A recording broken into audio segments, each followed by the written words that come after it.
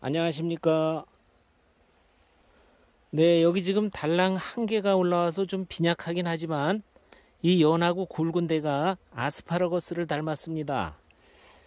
이 식물이 백화과의 밀나물입니다. 이 밀나물도 약재와 나물로 좋은데요. 나물 맛이 아주 좋습니다.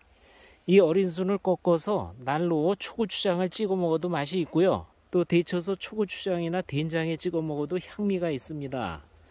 데쳐서 무침이나 튀김, 국거리 등으로도 이용할 수 있는데요. 맛이 담백한 나물입니다.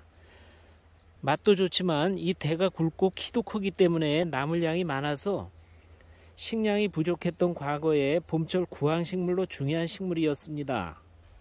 네, 지금 하나이긴 하지만 꺾으면 또 나오기 때문에 꺾어 보겠습니다. 이렇습니다.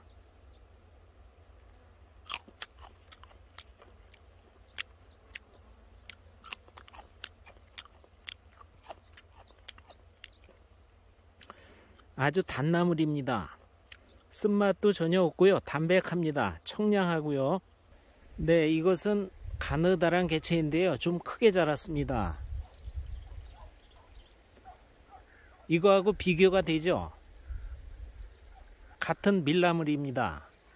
이 밀나물은 뿌리를 주 약재로 쓰는데 이 줄기에도 약효가 있습니다. 한방에서 우미채라고 합니다. 이 우미채는 맛은 달고 쓰며 성질은 평합니다. 이 밀나물은 보양과 통경, 혈액순환 개선의 약재입니다. 몸의 기를 보하고 신장을 이롭게 하며 혈액 기능을 보태고 늘려서 면역 기능을 활성화시키고 노화 방지와 쇠약한 몸의 상태를 좋게 만들어주는 효능이 있습니다. 이 밀나물 뿌리를 오리나 닭과 함께 푹 구워 먹으면 보양과 강장의 효과를 볼 수 있습니다. 또한 기혈의 순환과 경락을 잘 통하게 해주는 기능이 있습니다. 기허의 부족으로 인한 몸의 붓기를 빼주고 근육과 골격의 동통, 관절의 동통, 두통, 어지럼증, 사지마비, 반신불수 등을 치료해 줍니다. 또한 방광염, 림프의 염증, 골수염, 골반염, 기관지염 등 각종 염증성 질환과 폐결핵, 골결핵 등 결핵 치료에 효과가 있습니다. 그 외에도 소화불량, 변비, 비만증, 해소와 기침, 토열 등의 효과가 있는 약재입니다. 이 밀나물 나물로 먹어도 건강에 좋고요. 약재로는 뿌리 말린 것을 하루에 6 내지 12g을 달여서 복용합니다.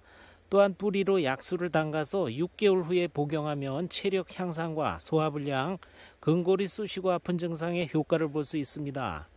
오늘은 밀나물, 우미채 알아봤습니다. 감사합니다.